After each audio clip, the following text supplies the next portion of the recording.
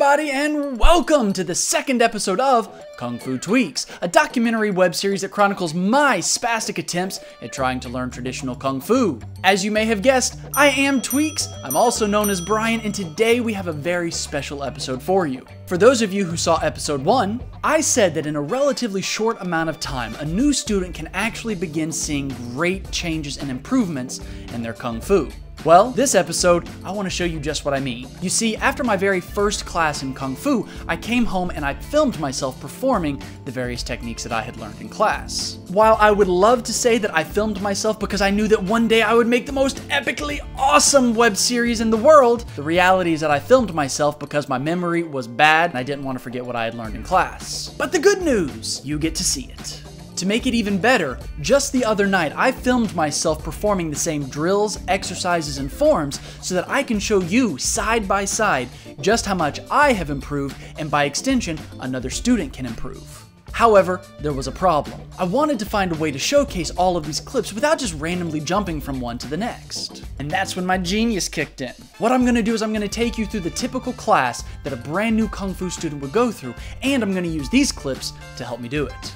Let's get going. Now, when a new student starts at the Institute, they almost always start in the very first class that we offer, which is called the Foundations class. As the name suggests, this class is all about teaching the fundamental skills and techniques that we use in every part of Kung Fu. When I say every part, I mean every single part. Now, each class is generally broken up into a few key sections. We almost always start each class with Tai Chi and meditation. Then after a brief warm-up and some stretching, we then move into Kung Fu. After Kung Fu, we then spend the rest of the class working on our Sanda, San Sanshou, or freeform fighting. These classes generally last up to an hour, so let's jump right in. First up, Tai Chi. Now the Tai Chi is all about breathing. We learn how to breathe where to send the breath, and how to control it. The beginning movements that you see me doing are designed to help me open up my body and to let the air flow in and out as much as possible. And this time is also used as a time of meditation so that we can begin learning how to focus our minds and get rid of all of the outside distractions. You see, when we train, it is of the utmost importance that we stay completely focused on our task at hand.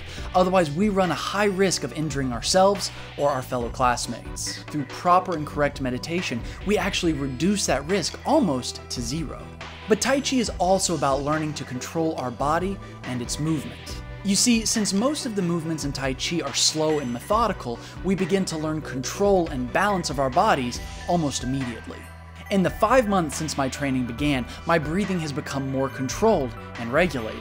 I've learned how to send the breath to the proper places in my body, and I've learned to meditate better even with more distractions around me. And probably the most important for me is that my body has been able to relax, and I'm finding myself to be more focused than ever before. Now, after a quick warm up with some stretching, we move into our Kung Fu. The very first technique that we learn is something called stretch kicks. These help us gain strength, balance, and flexibility, as well as teaching us some of the very first movements in our first forms. Typically, we focus on the first two kicks that a student will learn. Those kicks are the front stretch kicks and the outside stretch kicks. As you can see, my front stretch kicks have gotten much better. My balance, my control, my power, and my flexibility have remarkably improved. The even greater improvement comes with my outside stretch kicks.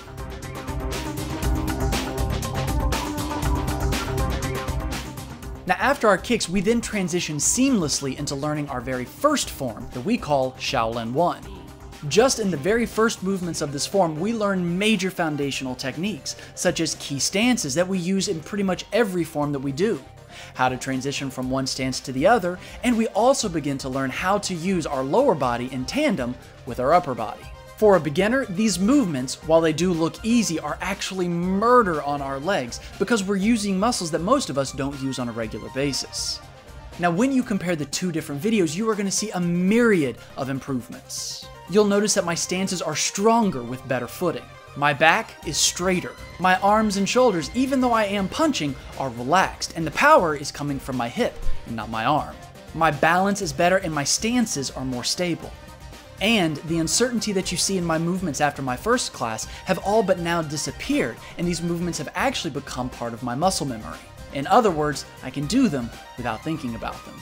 After working through the forms for a little while, we take what we have learned already in Tai Chi and Kung Fu and we begin to apply it in Sanda, Sanshou, or our free fighting. This is all about the self defense. This is about learning to use our bodies to exert the maximum amount of force while using the least amount of effort. Even though throwing a punch may seem easy, doing it correctly actually involves multiple different movements that have to happen simultaneously. When you watched me five months ago, you're gonna see that I'm stiff and that I'm tense. I'm dropping my guard when I'm punching or dodging, which is also known as slipping. I'm unsteady on my feet and my balance isn't all that great. However, when you see how I now move when I punch or I slip, you can see that my movements are more relaxed, powerful, and sturdy. This growth and improvement has come with many hours of practice, both in and out of class. And that, boys and girls, is an end to a foundations class. I've said it before and I'm gonna say it again. Everything that we learn in the foundations class are techniques that we are constantly and consistently using in all aspects of our training. If we learn the foundations incorrectly, it greatly hinders our ability to learn the more advanced movements down the road. These are so crucial that I have to work on them on a daily basis, and I am still far from perfect. However, despite my imperfections, I hope you guys have really enjoyed seeing my first attempts at Kung Fu and to see how far I've already come. Which brings us to the end of this episode. If you have any questions or comments, please feel free to leave them in the comment section below. If you like the show, be sure to give that little thumbs up button down there a clickety clack. If you didn't like the show, be sure to tell me why in the comments below and I will promptly ignore it. I'm just kidding. I'll just delete them. All kidding aside, let me know what you think below. If there's something in particular you want to see in the future, let me know and I will see what I can do. But until next time, my name is Tweex, this has been Kung Fu Tweex, and I will see you guys next time. Zaijian.